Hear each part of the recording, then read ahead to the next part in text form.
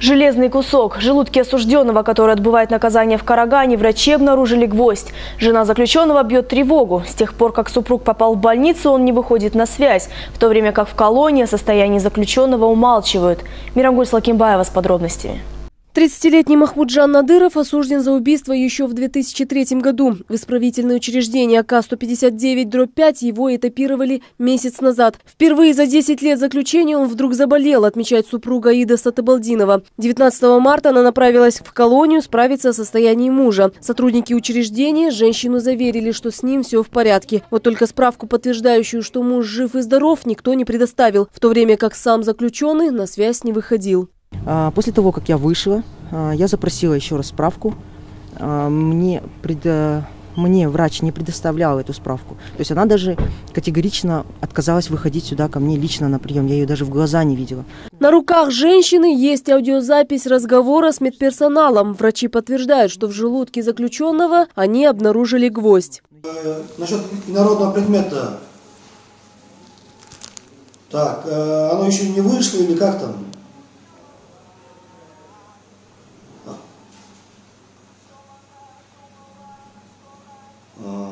Но она как, в естественной форме выйдет или как там, ну, в естественной форме, да?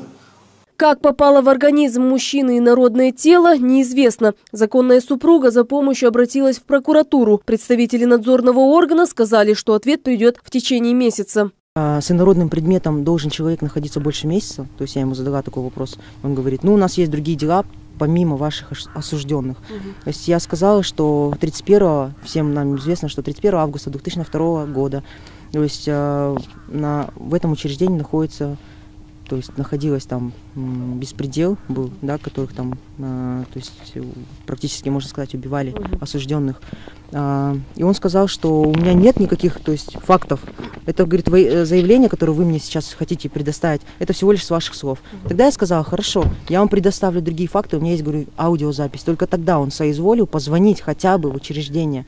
Аида Сатыбалдинова убеждена, что это не случайность. По ее мнению, Махмуджан Надыров, не выдержав издевательств, пошел на крайние меры. Таким образом, осужденный выразил протест беспределу со стороны сотрудников учреждения. Несчастная женщина просит неравнодушных помочь и не допустить того, чтобы дело замяли. Наш, тем более Казахстан, подписал э, закон да, с ООНом, что, что в пыток никаких не будет проводиться в учреждениях. То есть убивать не будут. Мирамгуль Салкимбаева, Тулегин Рашид, Евгений Афанасьев, Первый Карагандинский.